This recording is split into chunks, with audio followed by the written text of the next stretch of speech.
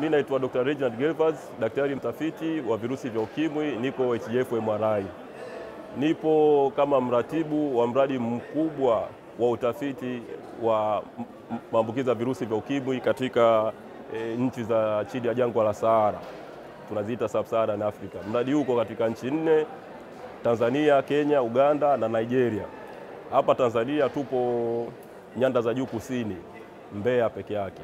Dhumuni kubwa la mradi huu ni kuangalia mwendelezo au maambukizi ya virusi vya ukimwi katika sura ya Kiafrika. Mara nyingi tulikuwa tunapata taarifa eh, kuhusiana na maambukizi ya virusi vya ukimwi kutoka nchi za Ulaya ambayo aina ya maisha, aina ya maambukizi na aina ya watu na huduma za kiafya kwa ujumla ni tofauti na, na nchi zetu za Kiafrika. Sasa mradi huu ndio utasaidia kuelewa vizuri maambukizi hayo na nini kifanyike vizuri katika e, matibabu ya maambukizi ya virusi vya ukimwi. Mpaka sasa hivi umechangia sana kwenye kubadilisha sera za matibabu e, kama kutoa dawa za muda mrefu e, kubadilisha aina ya dawa kutokana na e, dawa, kuna aina za dawa zilikuwa zina zimeanza ku, ku, kupungua kasi ya kufanya kazi kwake e, kusaidia ku ushauri serikali katika sera kama za kupima e, wanawake katika saratani za shingo ya kizazi e, vipimo vya kufubaza virusi vya ukimwi e, na unaangalia vitu vingi kuanzia mambo ya tabia, kibiolojia na matibabu ya maambukizi ya virusi vya ukimwi. Mradi kama mradi wa HJF MRI wenyewe tumeweza sasa hivi kuwa na uwezo wa kuwagundua watu wengi katika maambukizi mapema sio mpaka mtu akiumwa sana ndio aje hospitali tugundua na maambukizi, lakini ni, sera kama ile kufikia hiyo epidemic control, yani wale watu wenye maambukizi na wale wanafariki wale wanafariki wawe chini, kuwatambua wale watu mapema, kuanzishia dawa mapema na kufubaza virusi vya ukimwi. Ehe, kwa HGF MRI inatumika katika afua hizo zote, katika kuwatafuta watu, kupima, e, kuanzishia watu dawa mapema na sio kuwapa tu dawa tu na kuwasaidia kuangalia, je, virusi vinafubazwa? Na ndio katika mkoa wetu ni kati ya mikoa ambayo tunafanya vizuri sana, namba zetu ziko juu sana, ndio tuna bado tunasogea kwenye hiyo hatua ya kuweza kufubaza au kufikia hiyo epidemic control mwaka 2030. Nadhani kwa upande wetu hiyo inawezekana. Ch changamoto zi, zinakuwa ni kuanzia kwa mtu binafsi kwenda kupima na kukubali hali yake ya maambukizi ya virusi vya ukimwi na pia kuweza kupata ile huduma kwenda kuichukua. Sasa hivi serikali yetu na hizi HGF MRI wamejitahidi sana kuziweka zile huduma ziwe karibu.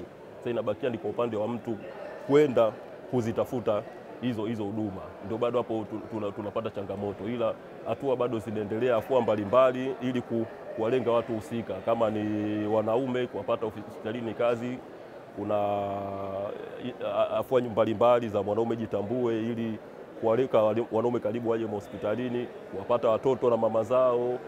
Ehe, e, makundi maalumu yenye kuwapata kwenye hii huduma, kwa sababu hata na pale kwenye HF MRI kuna mradi wa e, au ambao wanatumia wakuwa wanajidunga dawa, ni kati ya kundi ambao linapata maambukizi sana, na wenyewe tuna, tuna target hivyo, kwa sababu ili kupata watu wapya lazima walenge watu kwenye makundi mbalimbali. amna kwamba kuna njia moja ambayo inaweza ina, ina, ina, kusaidia kila kitu, lazima ulenge kwa, kwenye makundi yale mbalimbali ambayo unahisi una ndio makundi yana maambukizi makubwa. Kwenye utafiti kwa tunafanya hata aina matibabu iliyokuwa inatumika dawa zile, kuna dawa ambazo tayari kirusi kilikuwa kimetengeneza usugu, lakini tukagundua mpaka ile dawa ikabadilisha.